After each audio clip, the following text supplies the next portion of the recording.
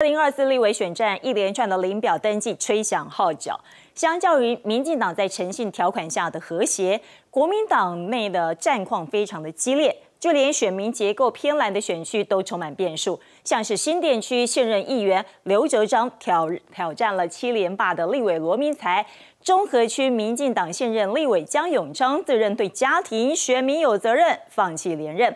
而国民党前立委张庆忠的儿子张志伦也磨刀霍霍，要重新夺下昔日父亲的仕途。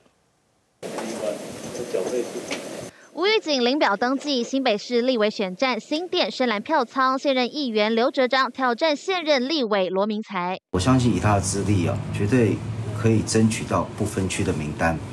那同时，我们也希望说，让党中央重视青年接棒的问题。在国民党，因为是在野党。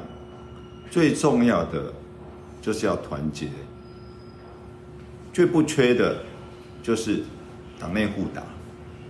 好，所以每个人哦，其实都有他的重要性。一个是在地议员，还是立委江启臣七舅；一个是资深七连霸立委，自家人党内互打。泽长议员跟明才立委，其实在新店跟我一起并肩作战很多年。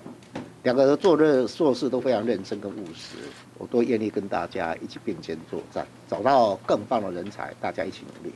话还是说的保留，但日前成功劝退新北议员陈伟杰挑战现任立委侯孟凯，这协调工作已经被视为侯友谊放眼大卫的另类起手式。而同样选民结构偏蓝的中和，过去两届被民进党立委张永昌抢下，这回张永昌却到最后一刻都没登记，放弃连任，让国民党磨刀霍霍。巨幅布条几个礼拜前就高高挂上，前立委张庆忠和现任新北市议员陈景定的儿子张志伦要重新夺下昔日父亲的师徒。希望呃综合区的选民可以看到我的专业跟我年轻的活力。这四年内我都在基层打拼。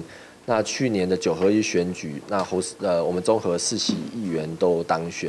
然后，呃，侯市长的在中综合得票数很高，那赢民进党的对手也赢很多，所以大家现在是一团和气的状态。但尽管目前民进党中和没人选，张永昌过去也曾经接受党内征召，出现的可能性还是存在。立委战况激烈，国民党新北优势区同样充满变数。记者卢一静、叶尚元、姚家鼎采访报道。